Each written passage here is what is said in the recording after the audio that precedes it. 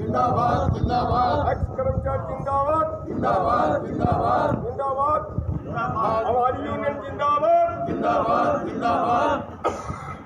Pensioner की union है। उसमें हमने जो हमारी मांगे हैं उनके ऊपर विचार विमर्श किया गया। और कुछ मांगे तो हमारी मान ली गई थी लेकिन कुछ मांगे आज भी उसी तरह खड़ी हैं। कई बार मुख्यमंत्री महोदय से इसके बारे में विचार विमर्श हुआ, लेकिन आज तक वो मांगे स्वीकार नहीं की गई।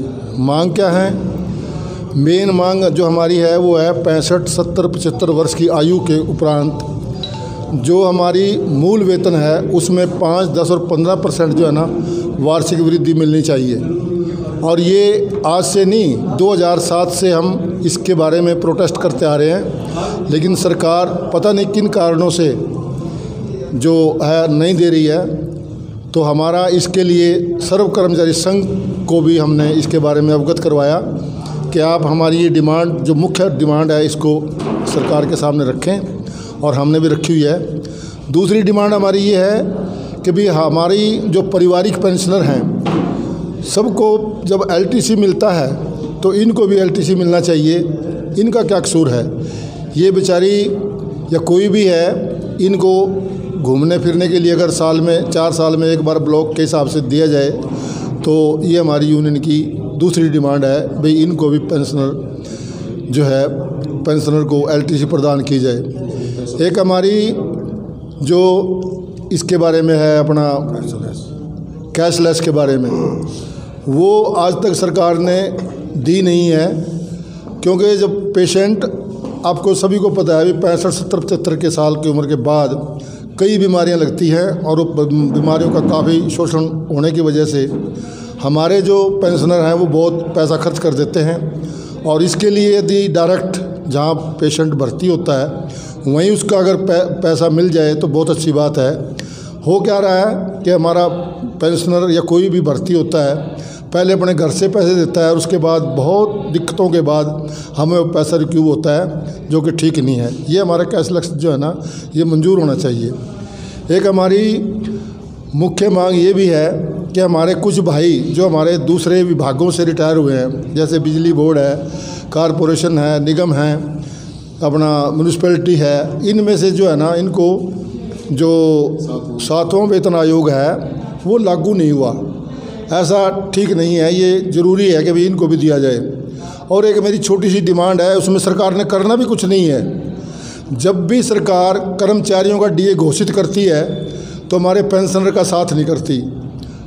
कम से कम एक महीने के बाद करती है तो इसमें सरकार ने देना तो है ही। यदि वो उनके साथ ही घोषित कर दिया जाए डीए तो हमारा पेंशनर बुज़ुर्ग जो है ना, उसकी आत्मा बड़ी खुश होती है। क्योंकि फिर जब जब डीए डिक्लेयर होता है कर्मचारी का तो उस समय पेंशनर कहता है यार कर्मचारी को दे दिया हमारे को दिया नहीं। मैं कोई बात नहीं भी आपका भी हो जाएगा। तो मेरा सरकार से अनुरोध है कि वो अगर कर्मचारियों के साथ ही डीए पेंशनर का घोषित कर दिया जाए तो बहुत ही अच्छी बात होगी। और ये हमारा जो यूनियन है, हर महीने कोई भी किसी की भी समस्या होती है, उसके बारे में हम बैठ के विचार विमर्श करते हैं और सरकार को इसके बारे में आगाह करते हैं। आज हम सरकार से एक बात कहना चाहते हैं। कि इस भारतीय जनता पार्टी की सरकार को बनाने में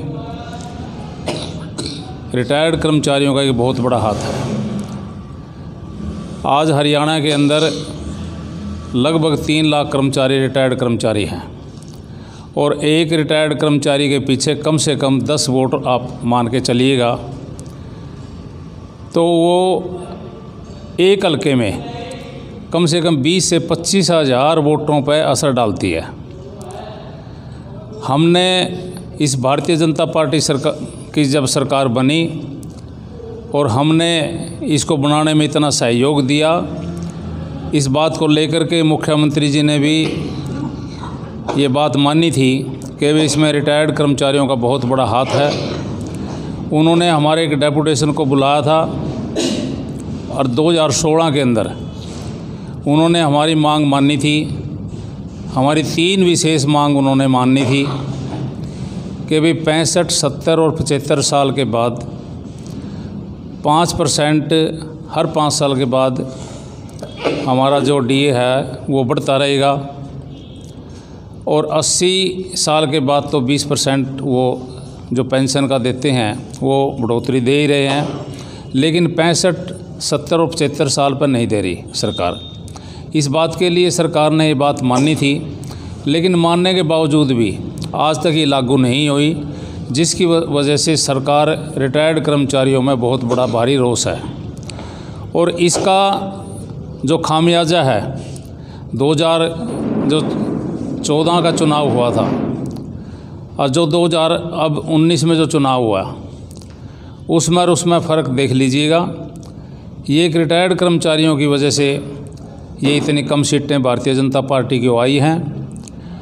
हम सरकार को निवेदन भी करते हैं और आगाह भी करते हैं कि भाई इसी तरह तरीके से अगर सरकार ने हमारी मांग को अनदेखा किया गया और जो बात जो मांगी गई जो मानी गई मांगे हैं, उनको लागू नहीं किया गया तो इसका आने वाले चुनाव पर ज़रूर असर होगा।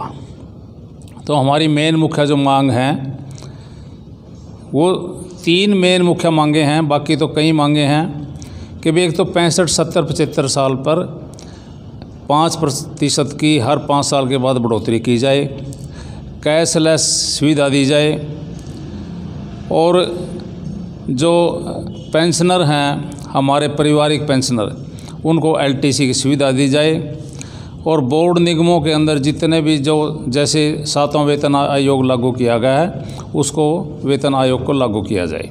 ये हमारी मुख्य मांग है। अगर सरकार ने मांग हमारी नहीं मानी तो नेचुरली जो है नहीं, ये पेंशनर जो है नहीं, सरकार से नाराज़ होंगे और इसका खामियाजा सरकार को भुगतना पड़ेगा। आठ दिसंबर की जो राष्ट्रव्यापी हड़ताल है, उसमें सेवानिवृत्त कर्मचारियों क्या स्टैंड है? हाँ उसमें हमने आज ही फैसला लिया है कि भी जितना भी रिटायर्ड कर्मचारी है, वो आठ तारीख की स्ट्राइक में भाग लेगा और सर्व कर्मचारी संघ के साथ मिलकर के जो ये आंदोलन चला गया है आठ तारीख का, इसमें सभी पूरा हरियाणा का जितना भी रिटायर्ड कर्मचारी है, वो इसमें बढ़ चढ़ करके भाग लेगा। धन्यवाद।